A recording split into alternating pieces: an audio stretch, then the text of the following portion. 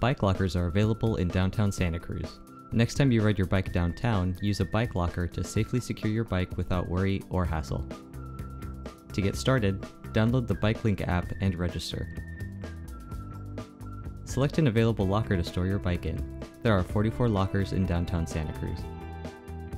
Start the rental using the app and the door will open automatically. Roll in your bike and secure the door. Enjoy your visit downtown knowing your bike and accessories are secure. Store your bike for the low cost of 5 cents an hour. When it's time to hop back on your bike, use the app to open the door, grab your bike, and close the door behind you to end your session. Go Santa Cruz users, remember to log your bike trips to and from downtown to earn sweet rewards.